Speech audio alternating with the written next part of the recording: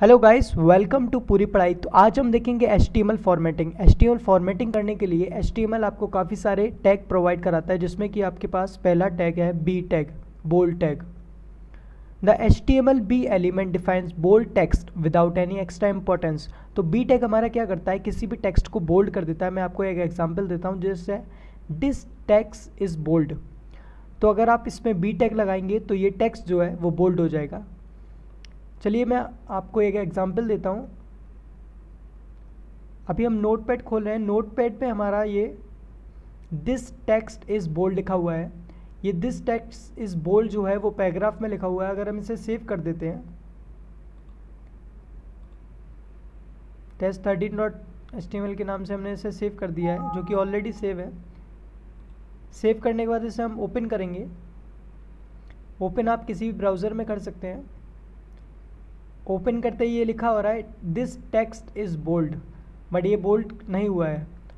तो हम क्या करेंगे? हम अपने नोट पैड पर जाएँगे, क्योंकि हम इसमें बोल्ड बी टैग हमने इससे यूज़ ही नहीं करा है तो हम इसे यूज़ कर सकते हैं बी बी टैग को। स्टार्टिंग टैग आप लगाएँगे बी टैग और आप एंडिंग टैग लगाएँगे। ये आपका बोल्ड जो है, वो बी टैग के अंदर आ चुका है। अब ये बोल्ड जो टैक्स लिखा हुआ है, वो आपका बोल्ड हो जाएगा। इसे हम करके देखते हैं प्रैक्टिकली।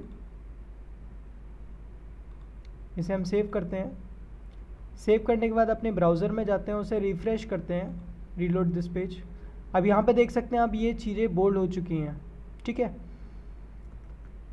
तो ये तो हमारा था पहला बोल्ड टैग सेकंड अपना हम टैग देखते हैं, जिसमें कि हमारा है strong formatting strong tag the S T M L strong element define strong text without added semantic strong importance with added sorry the S T M L strong formatting strong formatting आपका क्या करता है?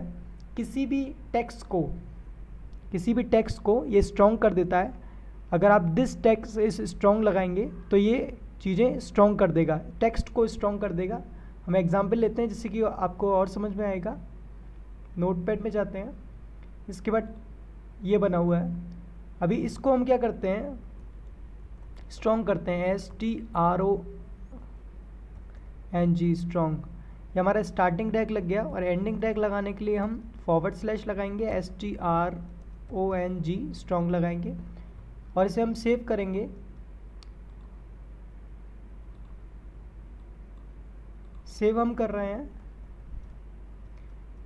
H T M L fourteen dot H T M L ये H T M L dot H T M L इसलिए लगाया है क्योंकि हमें H T M L file में इसे कन्वर्ट करना है। इसका एक्सटेंशन है।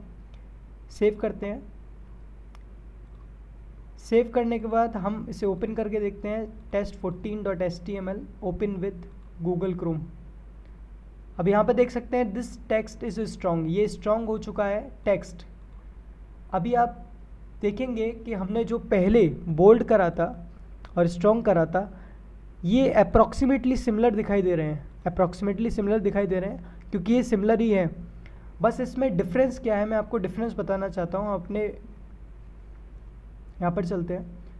यहाँ पर, इसमें लिखा हुआ है बोल्ड में विदाउट एनी एक्स्ट्रा इंपॉर्टेंस और नीचे आपका लिखा हुआ है with added semantic strong importance तो आपका जो ये फ़ाइल लिख, लिखी जाएगी टेक्स्ट में आपको जो फ़ाइल लिखी जाएगी, जब आप किसी कंपनी में सबमिट करेंगे या फिर अपने लिए इसे बनाते हैं तो सिर्फ़ ये, इसका डिफरेंस ये है कि आपका बोल्ड जो है, वो दिखाता है कि ये बोल्ड है, सिर्फ़ बोल्ड है और कोई इम्पोर्टेंस नहीं है इस टेक्स्ट का, और नीचे वाला स्ट्रॉन्ग ये दिखाता है कि इसका इम्पोर्टेंस है कुछ इस टेक्स्ट का। ठीक है? अभी हम एक एग्जांपल देखते हैं, जैसे कि विकीपीडिया है विकीपीडिया भी ये बोल्ड और स्ट्रॉन्ग टैग यूज़ करती है। जैसे कि हमारा इंडिया खोला है हमने। इसमें आपका ये देखिए। हाँ यहाँ पे आप देख सकते हैं इंडिया जो इंडिया लिखा है, वो बोल्ड टैग से लिखा हुआ है। बाकी सारा पैराग्राफ से लिखा हुआ है। फिर यहाँ पर रिपब्लिक ऑफ़ इंडिया भी बोल्ड टैग से लिखा हुआ है। तो इस तरह से प्रैक्टिकली एग्ज़ाम्पल हम देख सकते हैं कि काफ़ी लोग, काफ़ी जगह इस बोल्ड टैग को यूज़ करते हैं और स्ट्रॉन्ग टैग को यूज़ करते हैं। So thank you guys meet me on a next video तब तक के लिए good bye your feedback is valuable for all so please comment like and share with your friends thank you